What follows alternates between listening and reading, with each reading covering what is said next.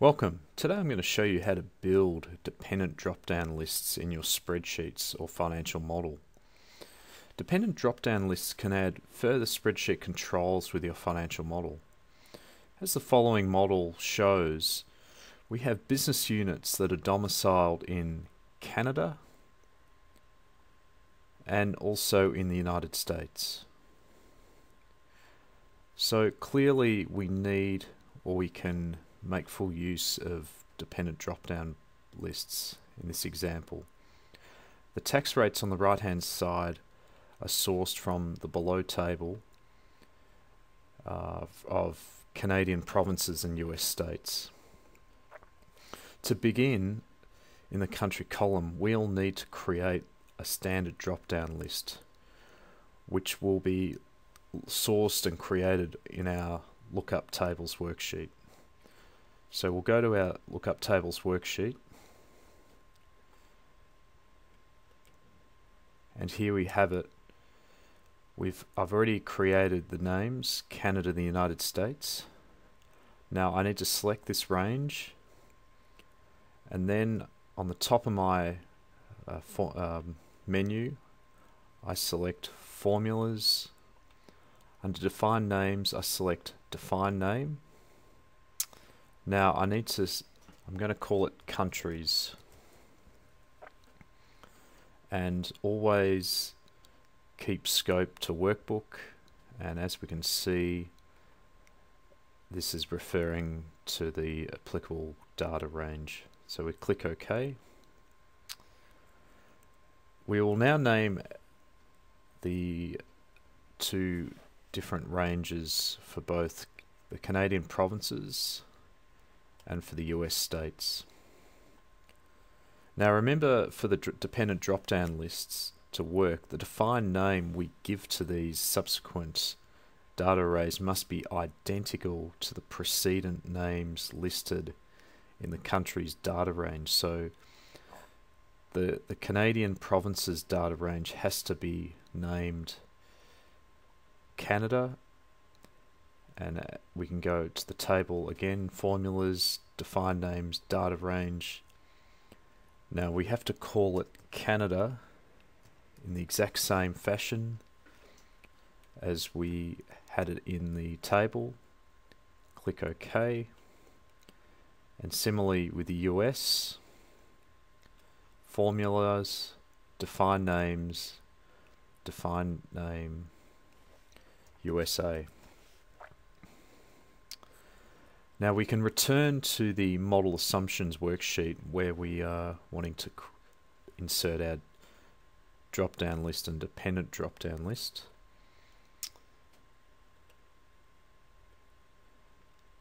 Firstly, under Montreal Gas, we'll create our drop down list. Now, under headings, select data. Under data tools, select data validation. Now the first tab settings we want validation criteria. Now under allow we want to select list and then under source we want to type equals countries which was the defined name range of countries USA and Canada and click OK. As you can see we have the two relevant countries Canada and the United States as per our list up here which we can see. Now returning to that assumptions page I now want to create a dependent drop down list. Now, once again, and I'll select under corresponding cell I63. Now, again, I go to Data, Data Tools, Data Validation, again, Settings, Validation Criteria, Allow, and again, List. Now, the difference with this is I'm not going to refer to the dependent um, defined name.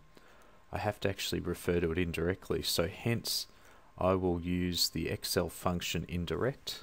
So equals indirect, open brackets, and the precedent cell, which in this case for Montreal Gas is H63. Now I want to make this formula dynamic, so I'm going to press F4 twice, three times, sorry.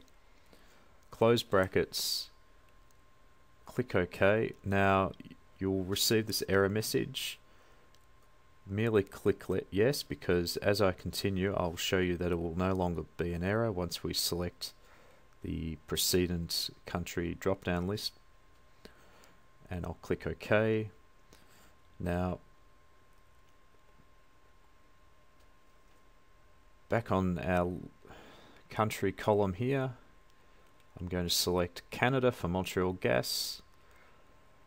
I now have my drop down, dependent drop down list working as we see. Fantastic. We have our relevant Canadian provinces as per H uh, our lookup sheet, which I'll go back to verify.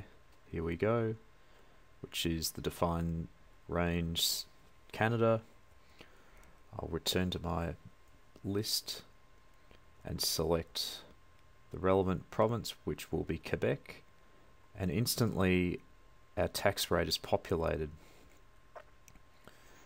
Now I can continue and copy this these drop down the dependent uh, the drop down list and dependent drop down list as follows. I'm going to copy them as blank like this. Either press Control down or copy paste and I just go down as follows. Quebec Gold will be again Quebec. But I'm going to make it a bit different. I'm going to make this New Brunswick, Ontario Energy,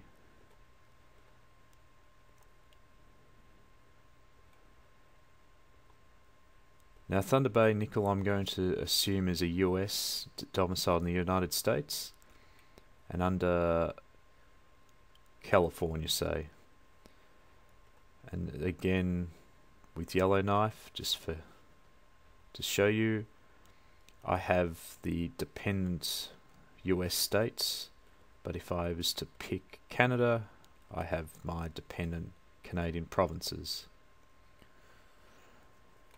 So there you have it.